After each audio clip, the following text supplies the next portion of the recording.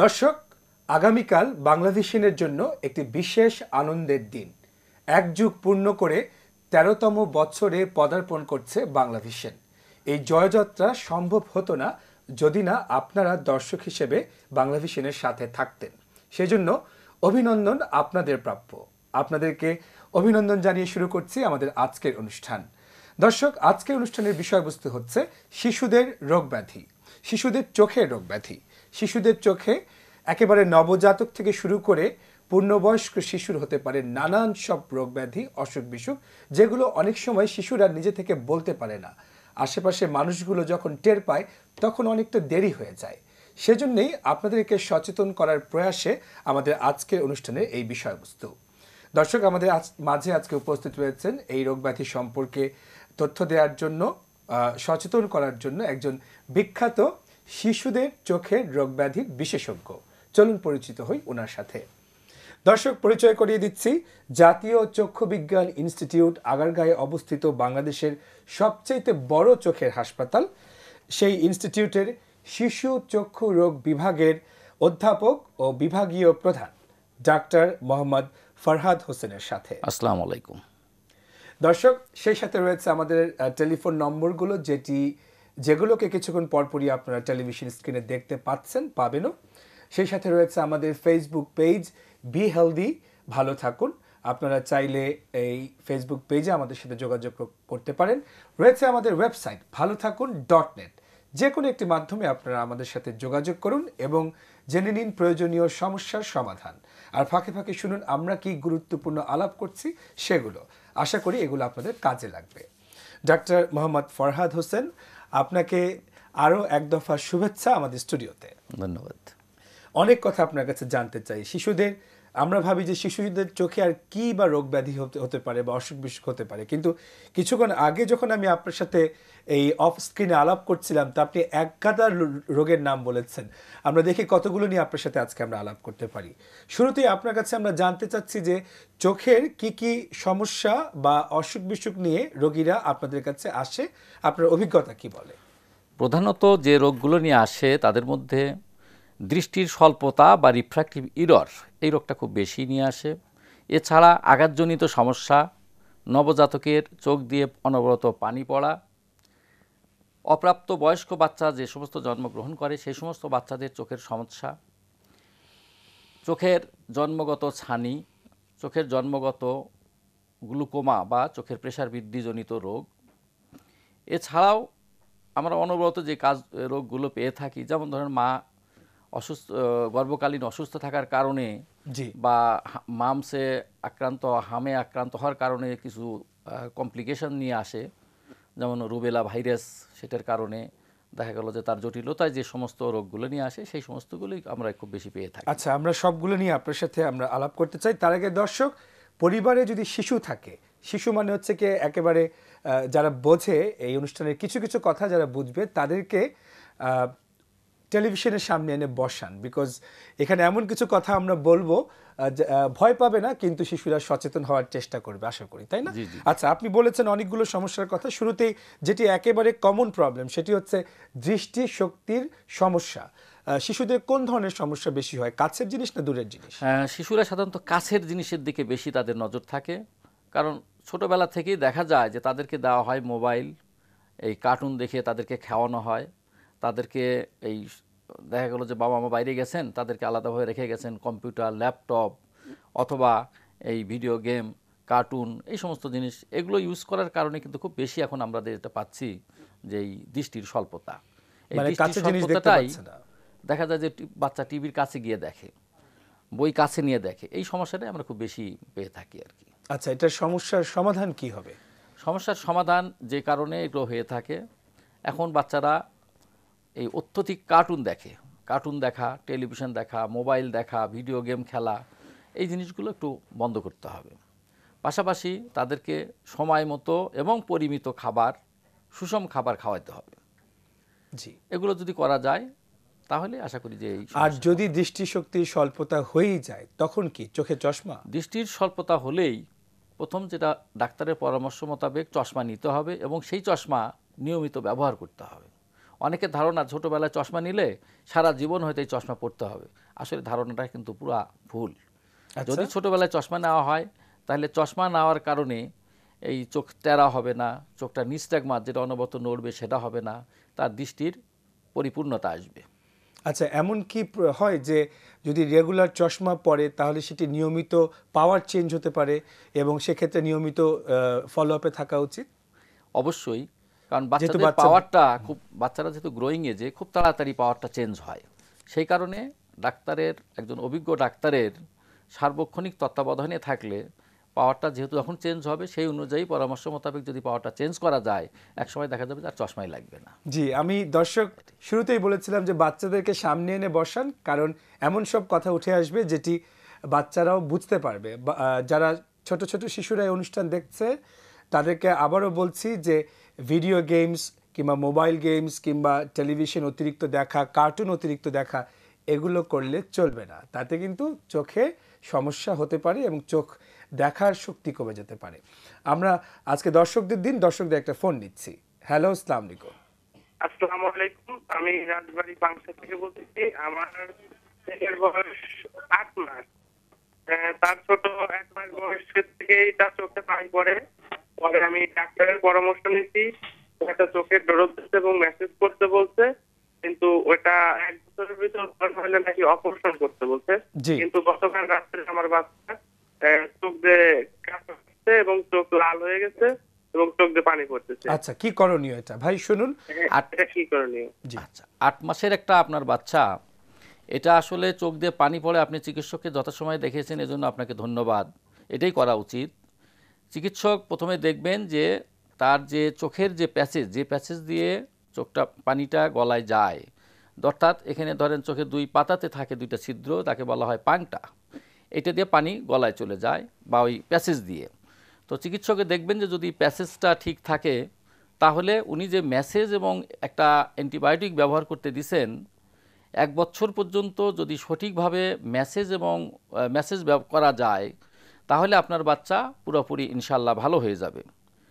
এক বছর পরে যদি না হয়, তাহলে আমরা মাত্র দশ মিনিটের জন্য বাচ্চাকে একটু অজ্ঞান করে প্রবিং নামক একটা ছোট্ট না কেটে আমরা রাস্তাটাকে পরিষ্কার করে দিই। তাতেও প্রায় পুরাটাই ভালো হয়ে যায়। তারপরেও যদি কিছু সামান্য পার্সেন্ট থাকে, এক দুই পার্সেন্ট সেটা কিন্তু পরবর্তীতে আমরা আরও সিলাস্টিক টিউব ইন্টুবেশনের পদ্ধতি আছে সেটাও করে থাকি। না হলে বাচ্চার বয়স যখন ছয় বছর পরে আমরা তা থেকে তখন অপারেশনের দিকে যাব। এখনই আপনার বাচ্চার অপারেশনের প্রয়োজন নেই বলে আমি মনে করি। আশা করি মেসেজে এটা ঠিক আশা করি মেসেজ ইনশাল্লাহ ঠিক হবে। জি। দর্শক আমরা সবাই ভাবি যে ক্যাটারেক্ট বা ছানি এটা বোধহয় বুড়োদের রোগ। অনেক বয়স হয়ে গেলে একটা পর্যায়ে গিয়ে চোখে ছানি পড়বে। আমরা কতজন জানি যে এই ক্যাটারেক বা ছানি শিশুদেরও হতে পারে। এই জানাটাকে আরও সমৃদ্ধ করবে আমাদের বিশেষজ্ঞ চিকিৎসক। প্লিজ বড়দের ছানি হয় সেটা আপনারা সবাই জানেন। শিশুদের কিন্তু ছানি হয় এবং এই ছানি বড়দের ছানির চেয়েও কিন্তু মারাত্মক আমরা মনে করি। কারণ এই ছানি যদি যথাসময়ে অপারেশনের মাধ্যমে এটা যদি সরানো না হয়, তাহলে দৃষ- দৃষ্টিটা স্থায়ীভাবে নষ্ট হয়ে যাবে, যাকে আমরা বলে থাকি অ্যামব্লয়োপিয়া এবং শুধু দৃষ্টি স্থায়ীভাবে নষ্ট হবে না, চোখটা তখন বাঁকা হয়ে যাবে, যাকে আমরা বলে থাকি টেরা, অথবা চোখটা সার্বক্ষণিক এরকম নড়তে থাকবে, যাকে বলি আমরা নিস্ট্যাগমাস তো এই এই জটিলতার হাত থেকে মুক্ত হতে হলে অবশ্যই যথাসময়ে চিকিৎসকের পরামর্শ মোতাবেক অপারেশন করতে হবে এবং এই অপারেশন ছোটোবেলাতেই করতে হবে। ছোটো ছোটোবেলায় না করলে উল্লেখিত যে সমস্ত কথাগুলো বললাম, এই সমস্যাগুলো দেখা দেবে। আর এই অপারেশন নিয়ে ছোট বাচ্চা হলেও এখন ভয়ের কারণ নাই কারণ গোটা বাংলাদেশে এখন এগারোটি সেন্টার রয়েছে যে সমস্ত জায়গায় প্রশিক্ষণপ্রাপ্ত শিশু চক্ষু বিশেষজ্ঞগণ সার্জারি করে থাকেন। আমাদের জাতীয় চক্ষু বিজ্ঞান ইনস্টিটিউটে আমরা দুই মাস বয়স থেকে শুরু করে প্রতিটা বাচ্চার অপারেশন করে থাকি এবং সেই অপারেশনে প্রায় একশো ভাগ আমরা বলতে গেলে সাকসেস রেট আচ্ছা ছানি কেন হয় ছোটদের? এখন ছানি হয় সাধারণত মা গর্ভকালীন সময়ে যদি হামে আক্রান্ত হয়ে থাকেন যাকে আমরা বলে থাকি মিজিলসে আক্রান্ত হয়ে থাকেন তো মিজিলসে আক্রান্ত হলে কীভাবে বুঝবে? অত্যন্ত জ্বর হবে গায়ে ফসল মানে লাল লাল হ্যাঁ, দানা উঠবে। হ্যাঁ। তো এই রোগের প্রতিক্রিয়ায় বাচ্চাদের ওই গর্ভকালীনই তার যে লেন্সের যে ডেভেলপমেন্ট সেখানে বাধাপ্রাপ্ত হয়ে ছানির জন্মগত ছানিরটা হয়ে যায়। আচ্ছা। এটা একটা কারণ। তারপরেও দেখা যায় যে যথেচ্ছ গর্ভকালীনও একটু ব্যথা হলো প্যারাসিটামল খেলো অথবা স্টেরয়েড জাতীয় ওষুধ খেলো। এই গর্ভকালীন যদি ওষুধ খাওয়া হয় এই ওষুধের প্রতিক্রিয়াতেও কিন্তু বাচ্চার চোখের জন্মগত ছানি হয়ে থাকে।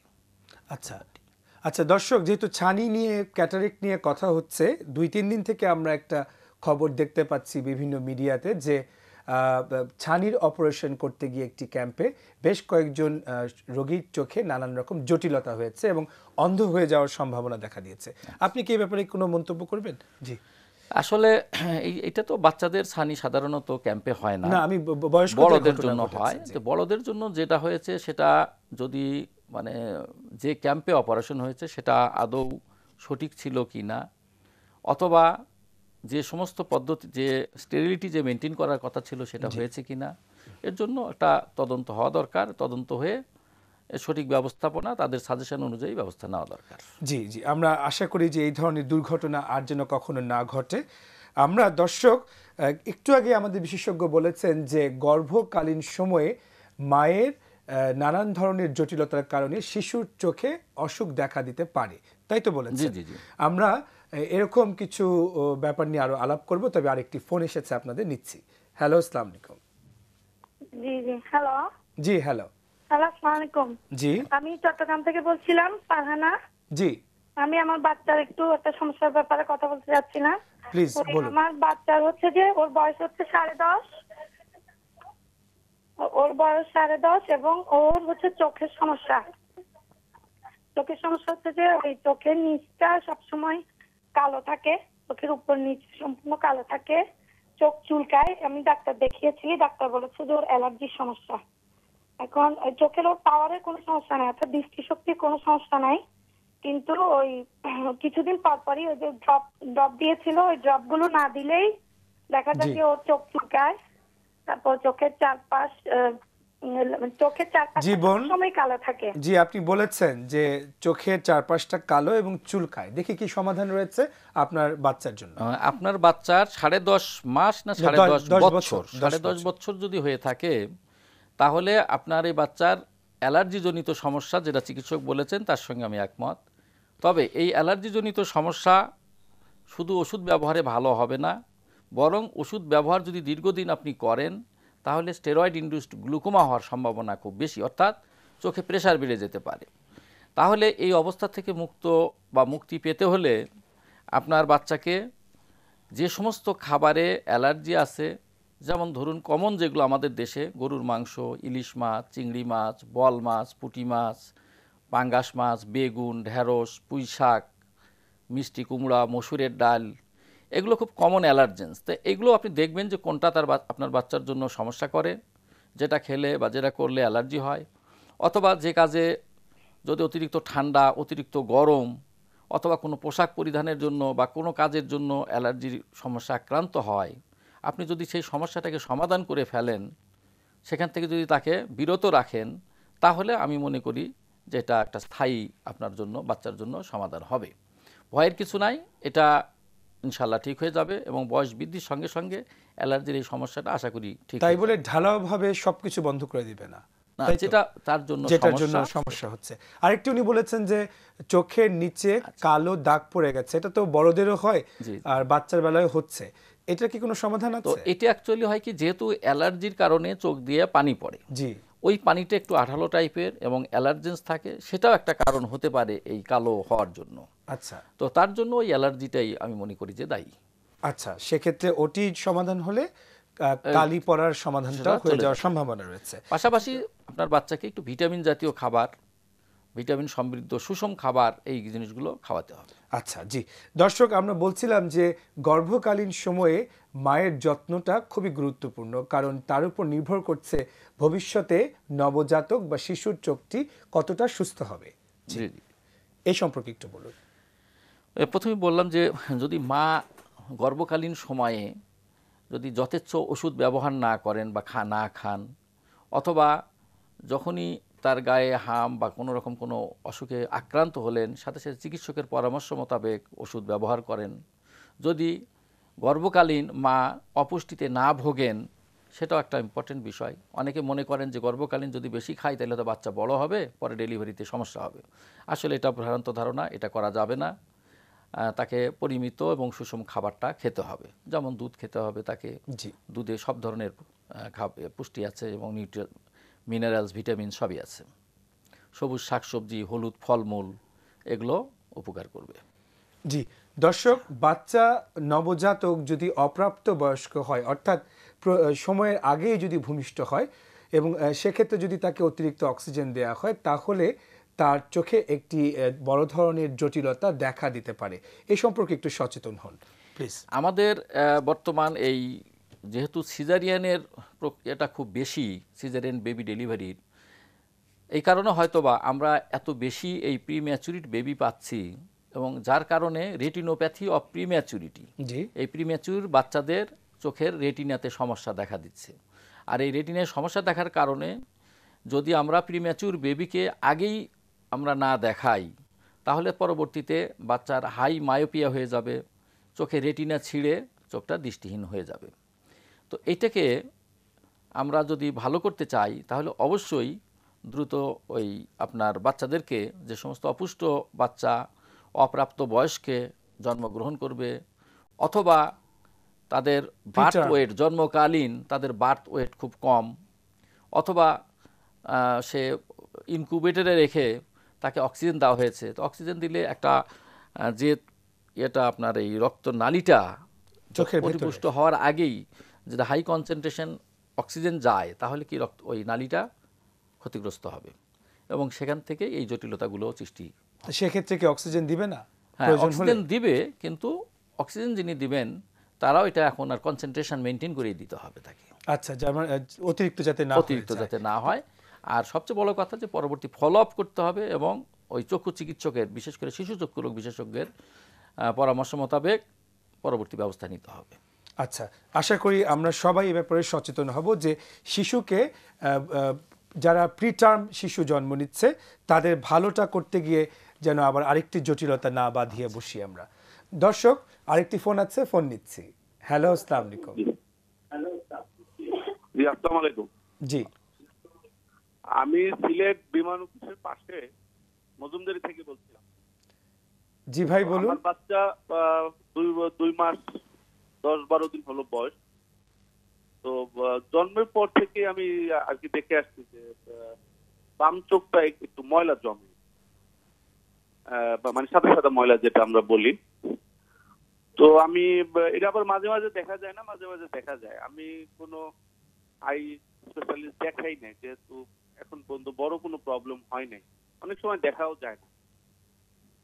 জি ভাই। স্যার আমার কি- আমরা বুঝতে পেরেছি বোধহয়। আপনার প্রশ্নটা বুঝতে পেরেছি চোখে কি সমস্যা হচ্ছে?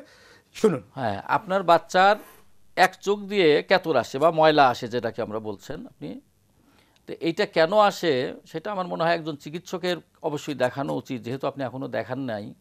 একজন চিকিৎসককে যদি দেখান চক্ষু চিকিৎসককে উনি দেখতে পারবেন যে কেন ময়লা আসে। যদি পানিটা দুই নালীতে এই যে আমাদের নেত্রনালী সেই নেত্রনালী দিয়ে যদি বন্ধ থাকে তাহলে পানিটা যত জমা থাকবে জমা থাকলে সেখানে জীবাণু সংক্রমণ হবে। আর জীবাণু সংক্রমণ হলেই তখন আপনার এই পিচুটি ক্যাতর বা ময়লা যেটা বলেন সেটা আসবে। তো সেই কারণে চিকিৎসকের পরামর্শ মোতাবেক আপনি ওষুধ ব্যবহার করবেন বা চিকিৎসক যেটা বলবেন যদি মেসেজ করার প্রয়োজন হয় মেসেজ করবেন এবং অ্যান্টিবায়োটিক সেফ অ্যান্টিবায়োটিক চিকিৎসক যেটা মনে করবেন সেই অনুযায়ী আপনি ব্যবহার করেন। যথেচ্ছ অ্যান্টিবায়োটিক বা ওষুধ ব্যবহার করবেন না। কারণ চোখ খুবই সংবেদনশীল একটি অঙ্গ। আপনার কাছে কি মনে হচ্ছে? এটার কারণ কি? এটা কি ওই এটা নালী বন্ধ হয়ে গেছে? নালী বন্ধ হওয়ার কারণে হতে পারে। কারণ বেশি। ছোট বাচ্চাদের নালীটা অনেকের ক্ষেত্রেই পুরাপুরি ওপেন হয় না। তো এটা মেসেজের মাধ্যমে এটা ওপেন হয়ে যায়। ওপেন অসুখটির পানিটা গড়ে যাবে। এই অসুখটির নাম এটা? ক্রনিক ন্যাজোল্যাক্রিমাল ডাক্ট অবস্ট্রাকশন আচ্ছা আচ্ছা। এটা হওয়ার কারণে এই রোগটা হয় আর জি দর্শক আমরা আহ, আরও অনেক কিছু নিয়ে অনেক কথা নিয়ে অনেক তথ্য নিয়ে অনেক প্রশ্নের উত্তর নিয়ে আপনাদের সামনে হাজির হব। আমাদেরকে নিতে হচ্ছে ছোট্ট একটা বিরতি। আমাদের সঙ্গে থাকুন।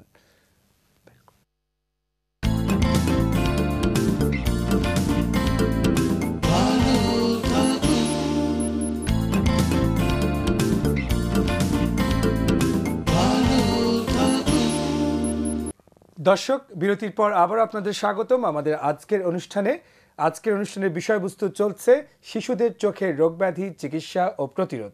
আর এ ব্যাপারে বিস্তারিত মতামত দিচ্ছেন একজন চক্ষু রোগ বিশেষজ্ঞ, যিনি শিশুদের চোখের রোগের জন্য বিশেষজ্ঞ।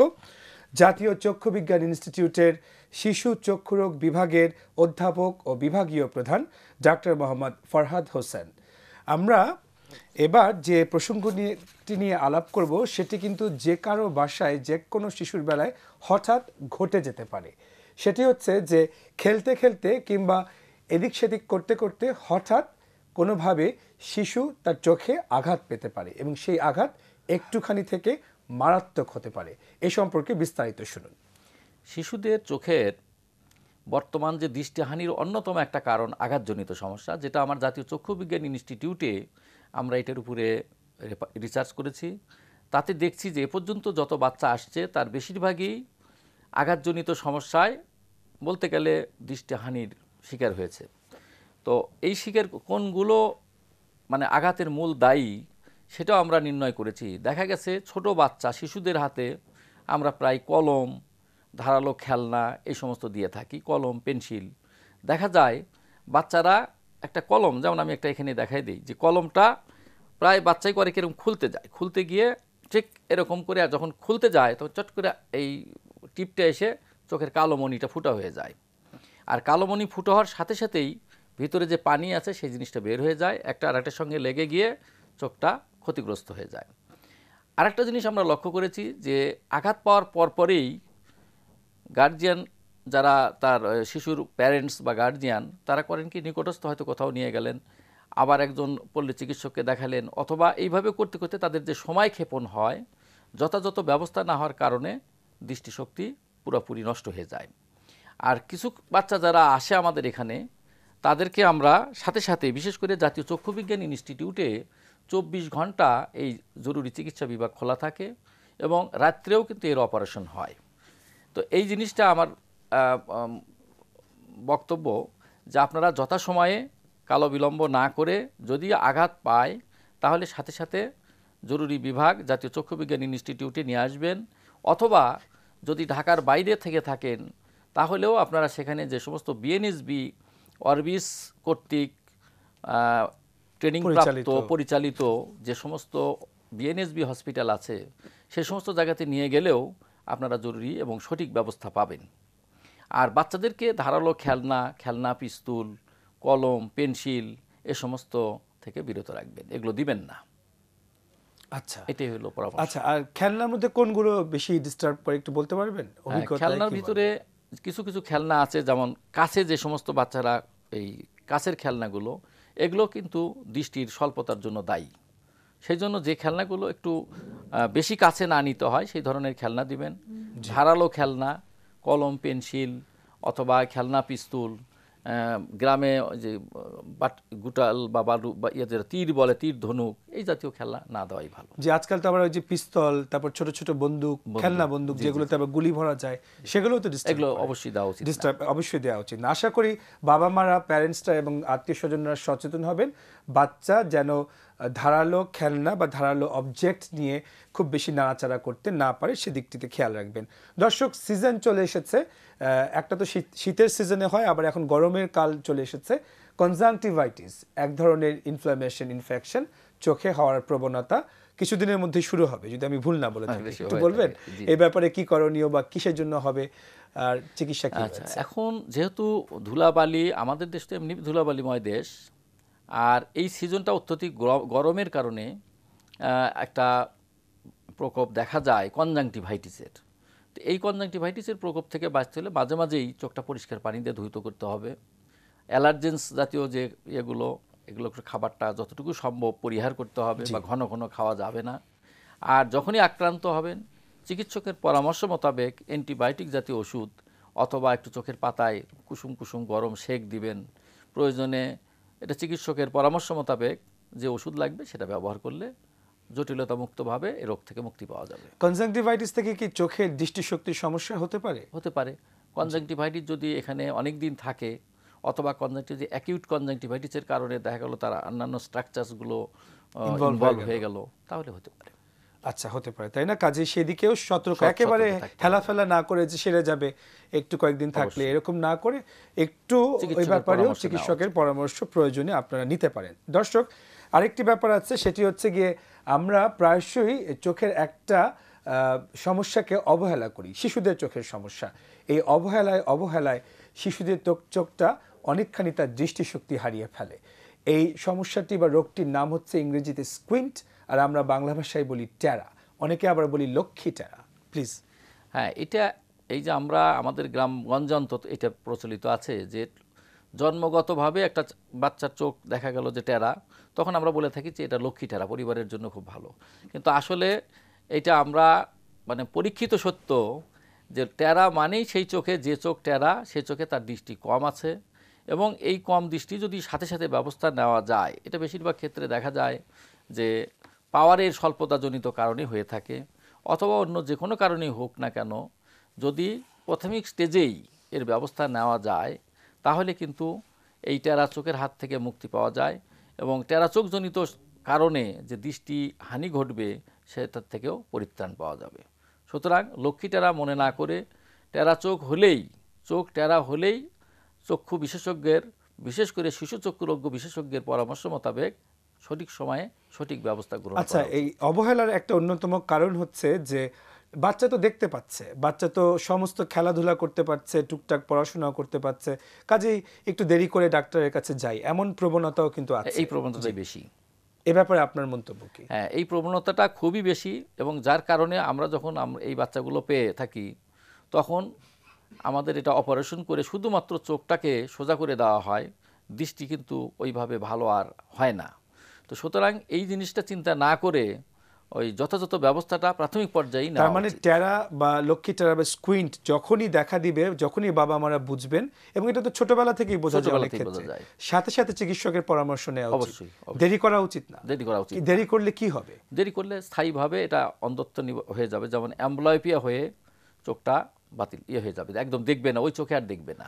দেখবে না। কিন্তু আপনি অপারেশন করে যদি হ্যাঁ, কি চিকিৎসা অপারেশন পরবর্তীতে অপারেশন করলেও জাস্ট চোখটাকে সোজা করা যাবে কিন্তু দৃষ্টিটা ভালো ওই চোখের। দৃষ্টিটা ফিরে আসবে কিন্তু এটা এগারো বছরের আগে যদি কোনো ক্রমে দেরি হয়ে যায় এগারো বছরের আগে আমরা যেটা করে থাকি একটা চোখটা দুই চোখেরই পাওয়ার মানে নির্ণয় করি নির্ণয় করে একটা চোখ বন্ধ করে দিয়ে যে চোখটা ভালো সেই চোখটাকে বন্ধ করে খারাপ চোখ যেটা তার দৃষ্টিশক্তি কম ওই চোখ দিয়ে তাকে আমরা দিনের একটা নির্দিষ্ট মেয়াদ বা একটা টাইমে হয়তো প্রতিদিন দুই ঘণ্টা বা চার ঘণ্টা করে এই প্যাচিং থেরাপি করে বাচ্চাকে আমরা ওই চোখটাকে অ্যাক্টিভ করার চেষ্টা করে থাকি। তবে এগারো বছরের পরে সাধারণত রেজাল্ট ভালো পাওয়া যায় না। আর এগারো বছরের আগে বিশেষ করে ছোটোবেলায় যদি এই চিকিৎসাটা দেওয়া যায় চশমা দিয়ে যদি আমরা এই প্যাচিং থেরাপি করি অর্থাৎ এক চোখ ভালো চোখ বন্ধ করে খারাপ চোখ দিয়ে দেখার চেষ্টা করি তাহলে পরবর্তীতে দৃষ্টিশক্তি আবার ফিরে আসে এবং বাঁকা চোখ সোজা হয়ে যায়। হ্যাঁ, আমি সেটাই জিজ্ঞেস করছিলাম আপনাকে যে টেরা মানেই তো সবার অপারেশন করতে হবে তা না। একেবারে যখনই আপনাদের কাছে আসে আপনারা প্রয়োজনীয় তো চশমাও দেন। চশমা দিয়েও তো আপনারা চেষ্টা করেন যে চোখটা আবার সঠিক করা যায় কিনা। করা যায় কিনা তাই না? টেরার ভাবটা কেটে যায় জি জি। আর যার অপারেশন লাগবে। তাকেও কিন্তু আর্লি স্টেজেই অপারেশন করা উচিত। পর্যায়ে। দেরি করলে ওই যে বললাম যে স্থায়ীভাবে দৃষ্টিহানি ঘটবে। আচ্ছা দর্শক, বাংলাদেশের স্বাস্থ্য খাতে বিভিন্ন সেক্টরে যে ব্যাপক উন্নয়ন হয়েছে, সেটাতে তো কোনো সন্দেহ নেই আমাদের। তার মধ্যে অন্যতম একটি হচ্ছে শিশুদের শরীরের যত্ন এবং এ বেলায়, যে চোখের যত্নের বেলায় আমরা যেটা করছি, সেটি হচ্ছে কি ইপিআই শিডিউলের মাধ্যমে শিশুদেরকে নিয়মিত ভিটামিন এ খাওয়াচ্ছি। এই ভিটামিন এ খাওয়ানোর যে কতটা গুরুত্বপূর্ণ কতটা কাজে দিয়েছে দিচ্ছে এ ব্যাপারে আপনার কাছ থেকে আমরা শুনতে চাই। একটু পরে আমাদের দর্শকদের একটা ফোন আছে। হ্যালো আসসালামু আলাইকুম। হ্যালো আসসালামু আলাইকুম। ওয়ালাইকুম আসসালাম। রাজশাহী থেকে বলছিলাম। জি ভাই বলুন। আমার ছেলের বয়স সতেরো বছর। পাওয়ার দিন দিনে যে বেড়ে চলছে এখন এক চোখে দুশো পঁচাত্তর আর এক চোখে তিনশো। এবার বাড়তে থাকবে না আসলে স্থায়ী সমাধান কিছু হ্যাঁ দুই চোখে আপনার যেহেতু একটা দুশো পঁচাত্তর আর তিনশো মাইনাস পাওয়ার, এটা তো মাইনাস আপনার পাওয়ার, তো মাইনাস পাওয়ারটা সাধারণত যদি চশমা নিয়মিত ব্যবহার করে, যে কাজ করলে চোখে চাপ পড়ে, অর্থাৎ কম আলোতে লেখাপড়া করা, গল্পের বই পড়া, টেলিভিশন বেশি দেখা, mobile game, video game, laptop, computer বেশি ইউজ করে তাহলে এই পাওয়ারটা আরও বাড়তে থাকবে। অর্থাৎ যে কাজ করলে চোখে প্রেশার পড়বে, সে কাজ যদি বেশি করে, তাহলে এই মাইনাস পাওয়ারটা আরও বাড়তে থাকবে। আর যদি আপনার বাচ্চা চশমা নিয়মিত পরে, এই যে কাজ কাজগুলো, এইগুলো যদি বন্ধ রাখে, আর সে যদি ঠিকমতো খাবার দাবার খায়, পুষ্টিকর খাবার খায়, বিশেষ করে দুধ খাবে শাক সবজি খাবে, ছোট মাছ খাবে, সবুজ শাক সবজি হলুদ ফলমূল মাছ ছোট মাছের বিশেষ করে ছোট মাছের কাঁটাটা চোখের জন্য খুবই উপকারী। এগুলো যদি করে তাহলে আপনার বাচ্চা পাওয়ার কমতে কমতে আবার নর্মাল হয়ে যাবে চশমা লাগবে না। জি জোরালো সম্ভাবনা রয়েছে। জোরালো সম্ভাবনা জি আমরা আপনাকে ভিটামিন ডি এ নিয়ে আপনার প্রশ্ন করেছিলাম। ভিটামিন এর প্রয়োজনীয়তা। প্রথমে ধন্যবাদ দিই বাংলাদেশ সরকারের এই স্বাস্থ্য বিষয়ে যারা জড়িত আছেন তাদেরকে যে এই আপনার ইপিআইয়ের প্রোগ্রামের মাধ্যমে বাংলাদেশে কিন্তু আগে আমরা যেটা দেখতাম আমি ছোটোবেলায় দেখেছি যে বা আমার এই চিকিৎসাকালীনও প্রথ- প্রাথমিক পর্যায়ে দেখছি প্রচুর ভিটামিন এ অন্ধত্বজনিত কারণে রুগী আসতো। রাতকানা দিন রাতকানা আসতো পরবর্তী দেখা কালো মণি গলে পড়ে গেছে কালো মণি থাকতো না। কিন্তু এখন এই ইপিআই প্রোগ্রাম সাকসেস হওয়ার কারণে ছোটোবেলা থেকে এই ভিটামিন এ ক্যাপসুল বাধ্যতামূলকভাবে দিয়ে দেওয়ার কারণে এখন কিন্তু বললে নাই বললেই চলে প্রায় ওয়ান পার্সেন্ট টু পার্সেন্ট পর্যায়ে চলে আসছে। বা তাও আমরা খুব একটু বেশি পাই না। তো এটা ইপিআইয়ের আমি মনে করি একটা সাকসেস এবং এই ভিটামিন এ ক্যাপসুল সাথে যদি আপনার বাচ্চার ডায়রিয়া অথবা যদি ধরেন কলেরা তো এখন তো কলেরা হয় না ডায়রিয়া হাম, এরপরে যদি আবার ভিটামিন সমৃদ্ধ খাবার এবং ভিটামিন ক্যাপসুল খাওয়ানো যায়, তাহলে কিন্তু আর এই ভিটামিন এ কারণে যে অন্ধত্ব এটা একদম চলেই যাবে থাকবেই না। ভিটামিন এ ক্যাপসুল খাওয়ানো নিরাপদ তো নিরাপদ অবশ্যই নিরাপদ। কোনো তবে সমস্যা নেই জি। তবে বেশি খাওয়া যাবে না। বেশি খাইলে এর একটা ডোজ আছে যে দুই লাখ ইউনিট খেতে হবে। মানে কি রেজিস্টে কি হবে সেই অনুযায়ী চিকিৎসক হবে ইয়ে কিন্তু যদি বেশি ভিটামিন এ ক্যাপসুল খাওয়ান তাহলে কিন্তু ওই ব্যাঙের গায়ের যে মানে চামড়াগুলো যেরকম ইয়ে হয়ে থাকে গোটা গোটা দানা দানা হয়ে থাকে ওরকম হয়ে যাবে। কাজেই হাইপার ভাইটামিন হাইপার না হয় না হয় সেটাও লক্ষ্য আমাদের খেয়াল রাখতে হবে। দর্শক শিশুদের চোখে নানান সব রোগ ব্যাধি নিয়ে আলাপ করছি। কিছু জটিল রোগও হতে পারে। তার মধ্যে একটা হচ্ছে আমরা ভাবি যে গ্লুকোমা রোগটি বোধহয় বয়স্কদের রোগ বা প্রাপ্তবয়স্কদের রোগ। গ্লুকোমা রোগ কিন্তু শিশু বয়সেও হতে পারে তাই না? হতে পারে। জি এই সম্পর্কে। এটা অত্যন্ত সুন্দর একটা প্রশ্ন যে আমরা এখন বেশ কিছু রুগী পাচ্ছি যাদের দেখা গেল ছোটোবেলায় ছোট বাচ্চা দুই চোখের কালো মণি একদম ঘোলা সাদা একদম দেখা যায়। তো এই ধরনের বাচ্চা নিয়ে আসছে আমরা এগুলোর পরীক্ষা করি পরীক্ষা করে দেখি যে চোখের প্রেশার বেশি তখন এটা আমরা ওই অপারেশন করে দিই এবং অপারেশন করলে আল্লাহর রহমতে পুরো ভালো হয়ে যাচ্ছে। এছাড়াও কিছু কিছু বাচ্চা চোখ বড় নিয়ে আসে বড় নিয়ে আসে দেখতেই বোঝা যায় যে মনে হয় যে অক্স বা ষাঁড়ের চোখের মতো। এই বুপথালমাস আমরা বলে থাকি এটাতেও যদি সাথে সাথে আমরা সার্জারি করি একদম ভালো হয়ে গ্লুকোমা বাড়তে থাকবে। না কমে যায় একদম নর্মাল হয়ে যায়। আচ্ছা সার্জারি না আবার আচ্ছা যাবার আগে আপনার কাছে একটু জটিল একটা রোগ সেটি হচ্ছে শিশুদের চোখে ক্যান্সার হতে পারে। হতে পারে এটা সম্পর্কে একটু বলবেন দর্শকদের। শিশুদের চোখে অনেকগুলোই হয় ক্যান্সার তার মধ্যে রেটিনোব্লাস্টোমা নামে একটা ক্যান্সার এটা খুবই একটা মারাত্মক ধরনের ক্যান্সার। এছাড়া তো লিউকোমিয়া হতে পারে। জি। তো এই রেটিনোব্লাস্টোমা যদি হয় এই রোগটা কিন্তু শুধু দৃষ্টিহানি নষ্ট করে না এটা যদি যথাসময়ে ব্যবস্থা গ্রহণ না করা হয় তাহলে কিন্তু তাকে তার জীবনটাই সংঘাতের দিকে চলে যায় লক্ষণ কি? ওর লক্ষণ চোখের দিকে তাকালেই দেখা যাবে চোখের ভিতরে ছানি পড়লে যেরকম সাদা হয়ে যায় ওরকম সাদা দেখা যাবে। আচ্ছা। যখনই চোখের ভিতরে চোখের এই মনির ভিতরে যখন সাদা দেখবেন বিলম্ব না করে দ্রুত চিকিৎসকের পরামর্শ শিশুদের চোখের যত্নের অন্যতম একটি উপায় হচ্ছে গিয়ে প্রি স্কুল চেক আপ। যাবার আগে আপনি এটি সম্পর্কে একটু বলবেন।